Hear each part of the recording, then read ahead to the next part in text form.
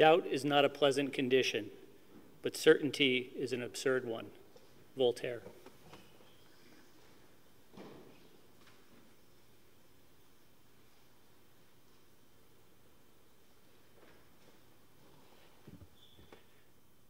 There are these two young fish swimming along, and they happen to meet an older fish swimming the other way, who nods at them and says, Morning, boys, how's the water? And the two young fish swim on for a bit, and then eventually one looks over at the other and says, What the hell is water? David Foster Wallace.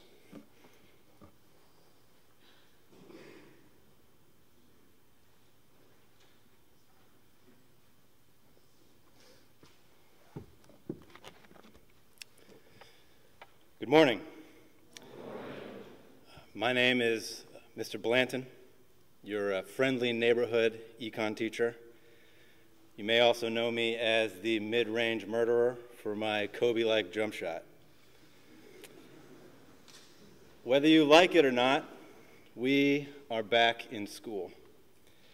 And over the next three trimesters, we'll spend many hours inside and outside the classroom learning, being educated. But what does it mean to be educated? What is the purpose of all those hours, all that toil in class and on the field? Today, I want to offer my perspective. To do it, I'll tell you my story about how I ended up at this podium. And if you're already bored, I get it. I'm boring. But it's not my story that matters. What matters is the truth I believe it reflects. I graduated from Lyman High School in Orlando, Florida, with just above a 3.0 GPA. I was the kind of student that just went about my business. I did the work, checked the boxes, jumped the right hoops. If I were to call any of my high school teachers, they would all likely ask the same question You became a teacher? Their surprise shouldn't be that surprising. I floated through high school, smart enough to get by, but disengaged. I cared more about not getting bad grades to avoid making my parents angry. I did the bare minimum. I started at Seminole Community College the fall after my high school graduation in 2009. I attended because my parents wanted me to. Like high school, I did what I was supposed to, but my heart wasn't in it.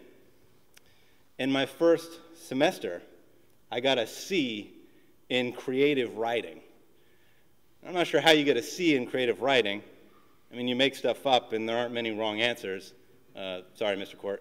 Um, that C was a reflection of where I was. I felt aimless. In my second semester, I took the second half of the American History Survey, which covered from the end of the Civil War in, in 1865 to the 1990s.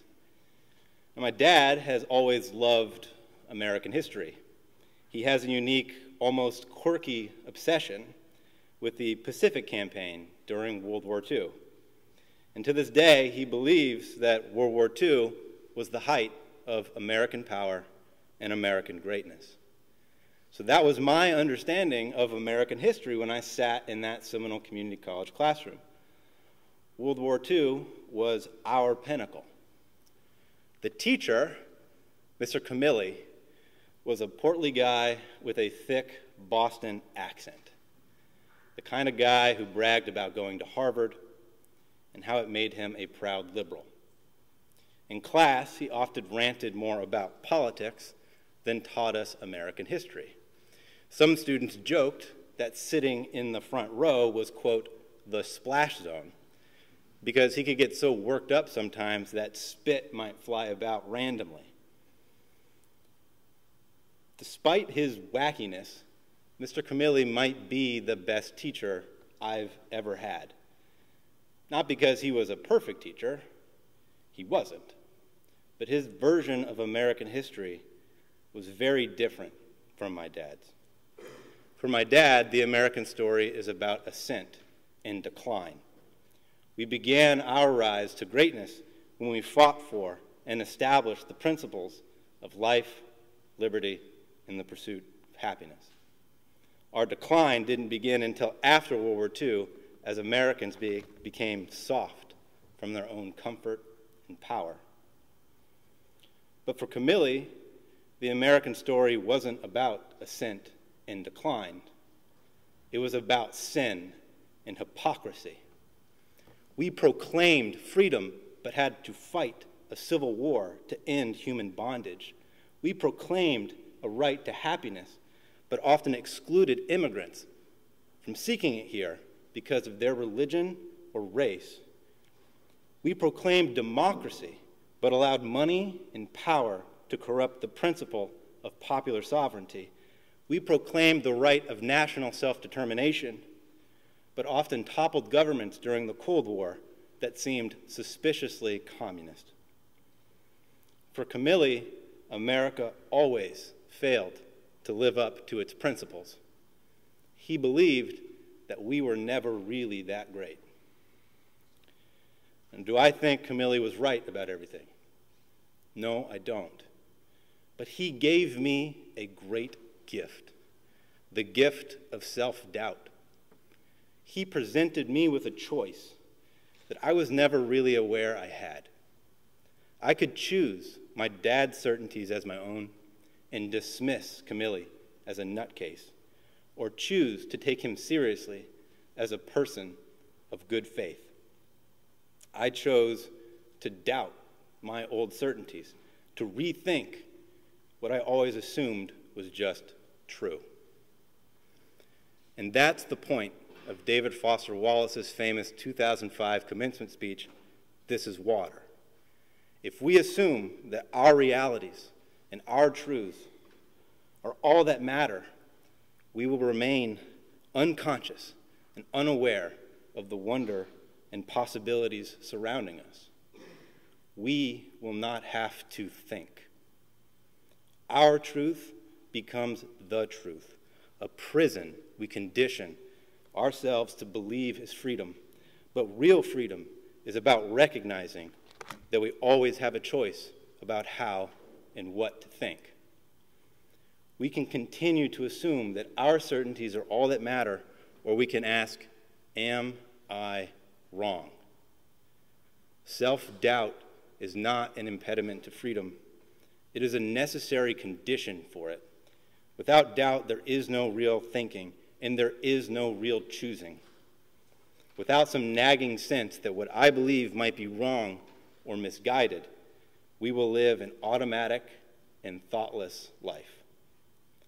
We will remain the young fish, trapped in our heads and unaware of the complex, nuanced, and beautiful realities we swim in every day.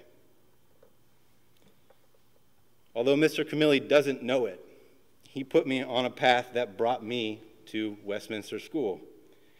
He helped me to realize that being educated isn't about content or knowledge. It isn't about memorizing information, facts, or formulas. It's an attitude, an invitation to constantly and persistently rethink what we believe and why we believe it, to see the world and the people in it anew, again and again. The alternative is blind certainty, boredom, arrogance. You'll believe that your experience and knowledge are how to measure everyone and everything. There are no questions to ask because you are sure you already have the answers. The only hope to escape that prison, as far as I can tell, is a strong dose of humility and self doubt. To open yourself to the possibility that you know less than you think you do. And if you never embrace that mindset, you'll never be educated, even if you earn bachelor's degrees, medical degrees, law degrees, doctorates, even if you go on to make a lot of money, become famous, or change the world. Since being educated is always about being open to new ways of understanding the world, here's another way to think about what education means. Richard Hofstadter, a famous U.S. historian, I'm sure Mr. Griffiths is over here smiling, uh, argued that an educated person has two essential qualities piety and playfulness. Piety connotes religious belief, spiritual devotion to God, or some religious creed. Of course, being educated does not require religious belief, just as it does not exclude it. What it requires, however, is a commitment and devotion to a calling. What is that calling? Well, for a lack of a better phrase, let's call it the pursuit of truth. Nothing is safe, nothing is sacred except the pursuit of truth. To always ask why, especially when it hurts. Consider the famous story of Galileo, which some of you might already be familiar with. Galileo wrote about and taught the Copernican view that the earth revolved around the sun rather than the sun revolving around the earth. And although Galileo believed he had permission uh, to teach the Copernican view as a plausible hypothesis from the officials of the Catholic Church, he was summoned to defend his views after publishing a book in 1632 which laid out the arguments for heliocentrism. And after a formal inquisition, Galileo was found to be a purveyor of heresy, or a possible purveyor of heresy, which is false belief. And the church sentenced him to house arrest in 1633 for the remainder of his life. Now, his house arrest wasn't exactly like maximum security prison. Still, Galileo paid a meaningful price for pursuing the truth and sacrificed much personal freedom as a consequence. Galileo's example shows us the kind of intellectual piety that matters. You may not be called upon to overturn false theories, but you will be called upon to think for yourselves. Don't ever give that up. If being educated means devotion to the pursuit of truth, such a commitment should be balanced against another value playfulness. The educated person may live for new ideas, for the pursuit of truth, but something must prevent them for living for one idea, one set of beliefs. An educated person plays with ideas. They entertain their possibility, persuasiveness, and power without necessarily accepting them as true. In my experience, certainty is seductive because it offers stability. It provides a tidy way of understanding the world that bestows psychological comfort. Whether such certainty comes in the form of politics, religion, the pursuit of riches, or some other system of meaning, it insulates an individual from what they don't know or refuse to consider. The mark of an educated person is intellectual empathy. Always being willing to understand the perspective of others because maybe they know something you don't. And empathy is the antidote to arrogance, the cure to believing that you are the center of the world and that your certainties are all that matter. A truly educated person listens, considers different ideas and perspectives and asks themselves over and over again Am I wrong? Of course, all this is easy to say. It's much harder to do in practice. Many times you'll fail just as I do. You'll dismiss the ideas of a friend because they just disagree with you. You'll ignore the feedback of a teacher because, well, they just don't understand the deep inner workings of your mind. You'll ignore the advice of a coach because you'll believe in your bones that you know better. You'll overlook the wisdom of a parent because, hey, that's what teenagers do. Of course, you could be right. The point is to stay open to the possibility that you're not.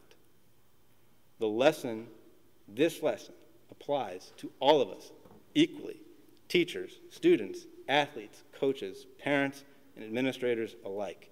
We are all engaged in the same process.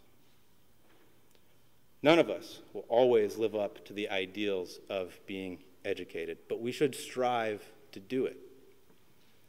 Be pious in the pursuit of truth, but be playful too.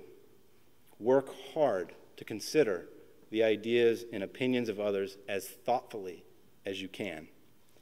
Recognize that you always have a choice to think differently. And once you start to live this way, the world will seem a little different to you. You'll be less certain that a book or a class, learning a new sport, or yes, even listening to a chapel talk, is a waste of your time. Maybe it is, but maybe you'll get something out of it. You just have to be willing to listen, to believe that you could learn something. And if any of you are like me, choosing to embrace self doubt and being willing to listen just might change your life. Thank you.